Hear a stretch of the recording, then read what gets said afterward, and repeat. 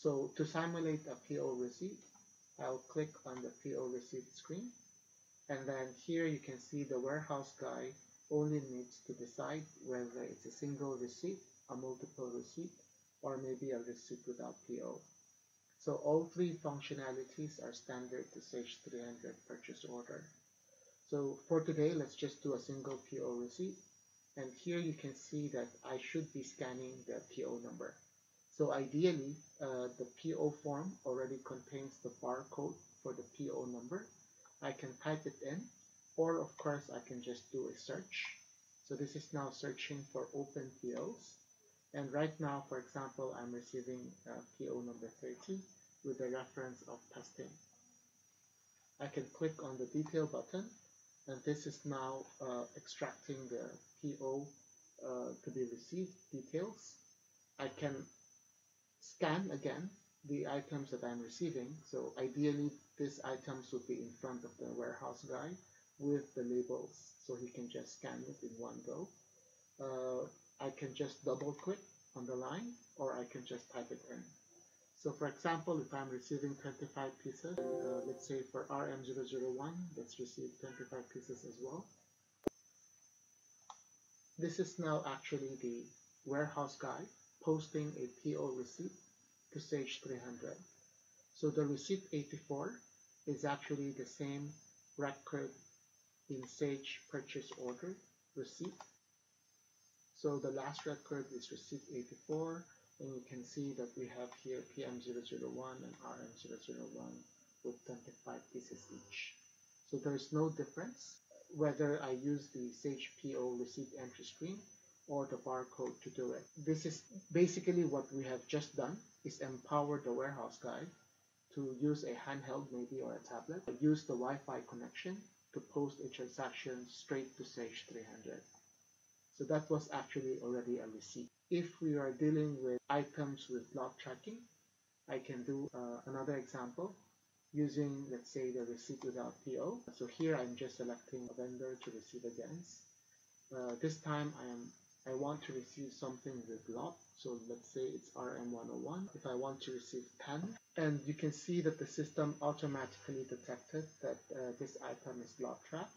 Uh, I can actually choose to manually scan the lot but uh, if you want to use internally generated lot numbers, uh, same as in Sage 300, you can just automatically generate.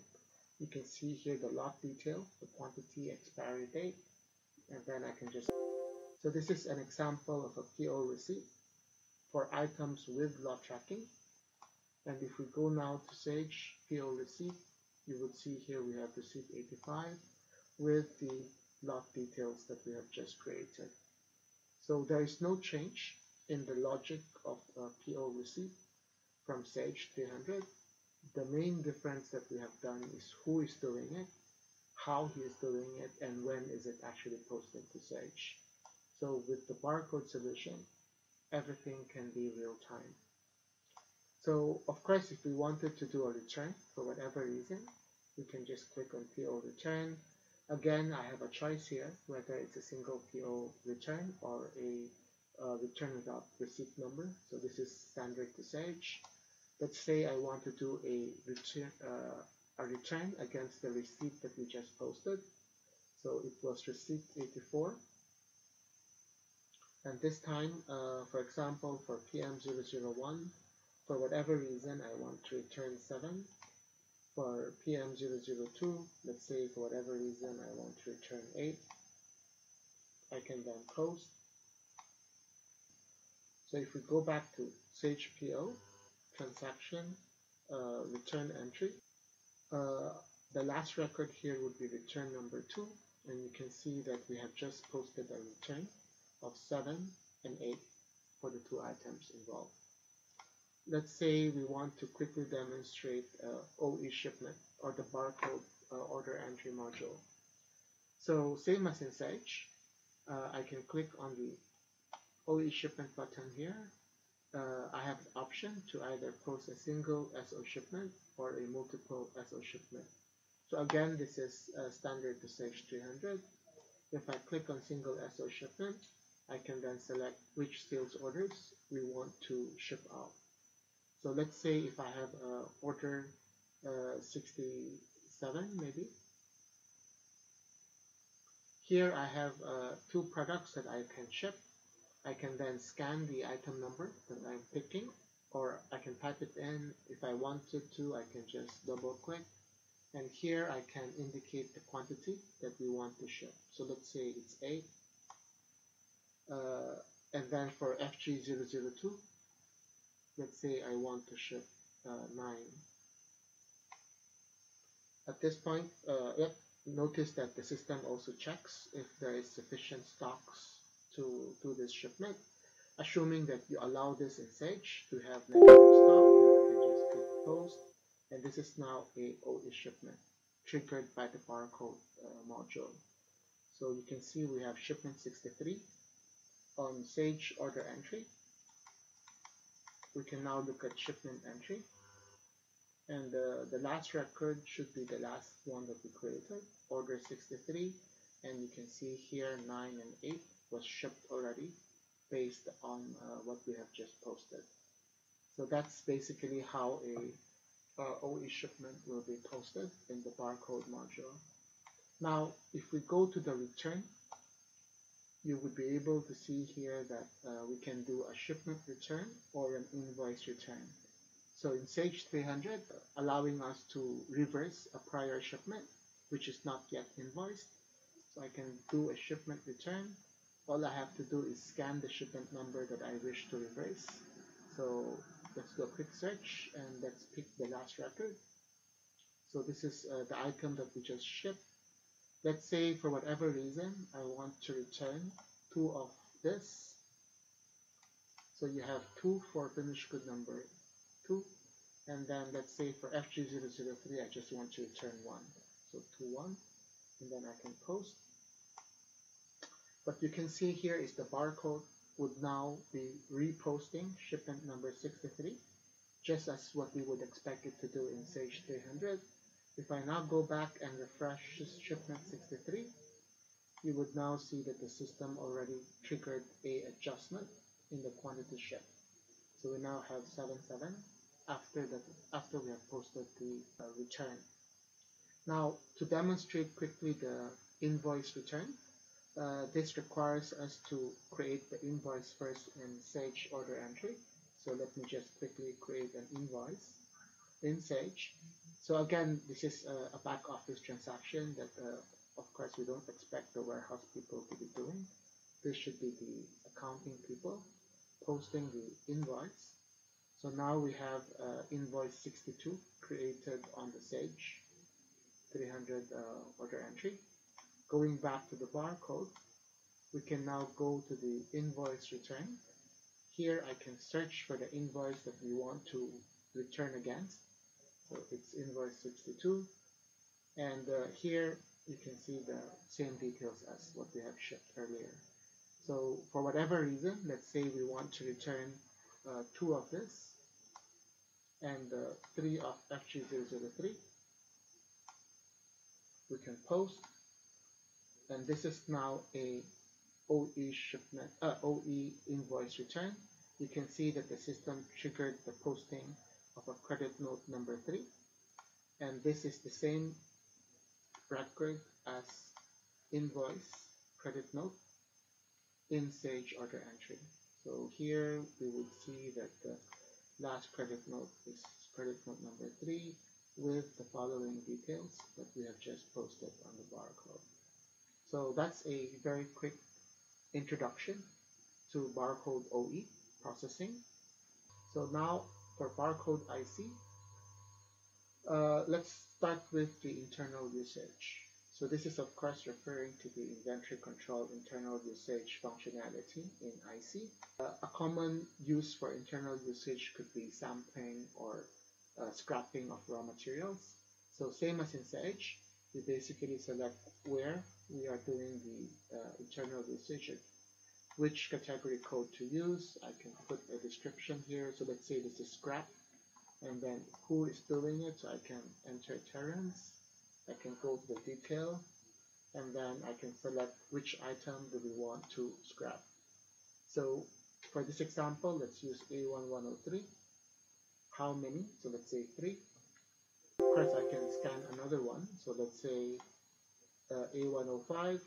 Let's scan. Let's scrap two. And at this point, we can post. So this is now a scrap transaction posted using the barcode uh, inventory control basic module. If we go to inventory control, transaction, internal usage, you would see here that we have internal usage number three with the following details. So again, we are not changing the logic of Sage. Uh, it's just how we are doing it, who is doing it, and when it is being posted into Sage 300. So that's internal usage. If we want to do a stock transfer, so take for example, if you want to move a certain raw material from location 1 to location 2, we can do that using the transfer functionality. So here you can see the three transfer options. Uh, for this demo, let's use the one-step transfer. You can see that I can select where am I getting it from, moving it to which location. Uh, in Sage 300, you can also put additional costs incurred by the transfer. I can put description references, but let's say for today, I just want to move, let's say, uh, item A103 uh, from location 1 to 2 for a quantity of 5. Uh, for A105, let's see, I'll, I'll just search again. I want to move 6.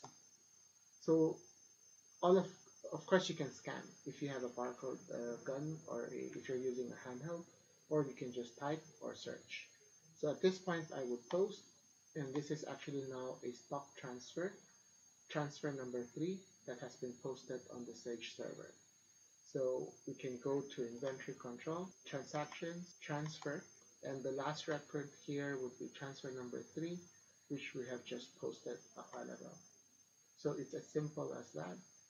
For transit transfer, it's roughly the same. It's just that you're moving it to a transit location before you move it to the final location.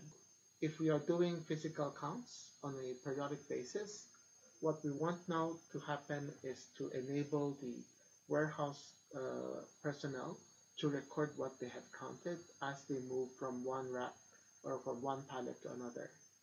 So to do that, we need the warehouse person to first generate a worksheet within Sage.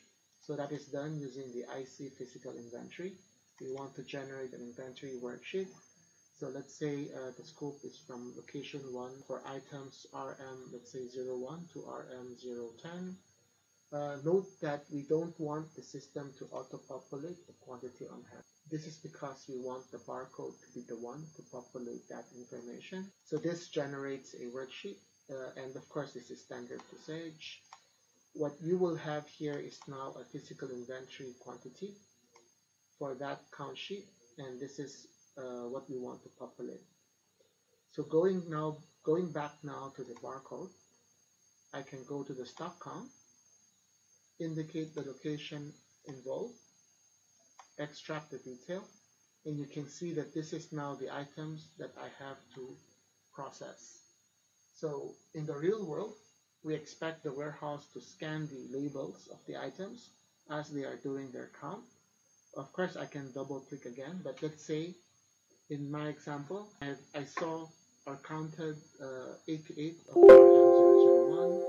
For RM003, I counted 99. For RM005, I counted 111.